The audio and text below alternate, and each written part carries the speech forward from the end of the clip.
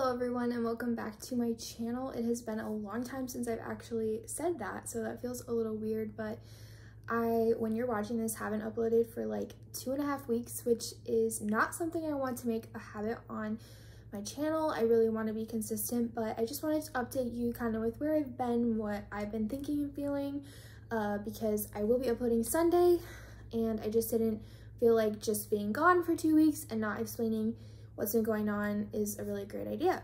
So first, I just really wanted to say with everything going on in the world, there's just a lot. And I know that there's a lot of people struggling and hurting right now. Obviously, we're still dealing with the pandemic, but aside from that as well, with George Floyd's murder and the Black Lives Matter movement, there is just a lot to think about and there is a lot to learn about and there's just a lot to process. And I think that as a white person in America, I have been trying to figure out where I fit into all of that. So, what can I do to help, and what can I do to be an ally, and how can I help those who are hurting? And the Black people in America are hurting and they are struggling, and there are changes that need to be made. I had an entire script typed up on my computer. I wanted to make a video just expressing some of my concern and frustration with some of the things that I had been seeing on social media, some of the trends, some of the comments. Um, and I decided to not do that, not because I don't want to talk about it, not because it's not important, but because I personally have a lot of educating of myself to do, and I have a lot to learn, and I in no way think that I have all the information or I am the perfect person to come to to find information that is going to inform someone about Black Lives Matter and about the movement in general.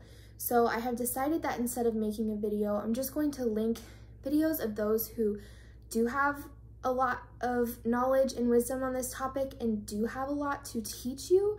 I'm going to leave a lot of resources down below. So I'm going to link some videos, some Instagram posts or accounts down below, and I just really recommend you to look at them and just to make sure you have an open mind with something like this obviously I am a Christian and as a Christian um, there is an even bigger issue that goes with this and as Christians a lot of the friends that I've seen who are also Christian um, I've seen a lot of differing sides to this topic and while I understand that everyone has their own opinion and that everyone has different experiences that lead them to perceive something a certain way I do know that we all need to be open to listening to those who are hurting, weeping with those who weep, and being willing to research and understand something and realize that maybe the way you have looked at something your entire life isn't correct.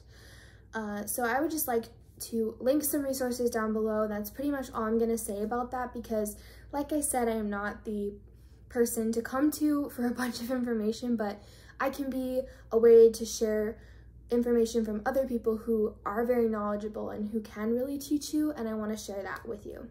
So going off of that, um, the last few weeks, along with just being overwhelmed with everything going on in our world and just being heartbroken by all the hurt that I've seen, um, I also have been struggling personally. So I did lose a family member a couple weeks ago, and it was kind of expected, unexpected, and it's a it's a difficult situation. Um, just losing this family member brought up a lot of other things. There's just a lot of um, emotions and things that come up that I needed to deal with with this person passing away. And so uh, that's just been kind of a struggle. And because of that and the world and different other circumstances, I just haven't really felt like myself the last few weeks. And I just needed a little bit of time because I don't ever want to put content out there just for the sake of putting out content and just for the sake of making sure I upload every week. That's just not how I am. And so I only want to put up content when it's something I am enjoying doing, something that I'm excited and proud to show you guys. So that is why I have waited to upload for a few weeks, but don't worry, this Sunday there will be a new video and it's something that was filmed about a month ago, but I still think it's a good video and I still want to share it with you guys. So look forward to that. And then on just to end the video, this little update video on a positive note, I wanted to say thank you for 100 subscribers. I did reach 100 subscribers today, so thank you so much. That just is a huge milestone. It was the first one I was really excited to reach, and now we're going for 500. So if you haven't subscribed, please do that. It'll help me out a lot. and I will be doing a giveaway soon, um, probably in the next month or so. That will be in a video, so keep your eyes open for that. So like I said, if you aren't subscribed, make sure you do that. If you hit the bell next to the subscribe button also, it will notify you when I do upload and you won't miss that giveaway that is coming in a little bit.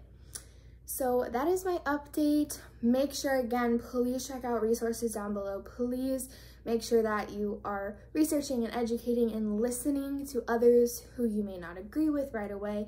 I will see you guys in my next video and thank you guys again so much for 100 subscribers and I can't wait to see you next time. Bye.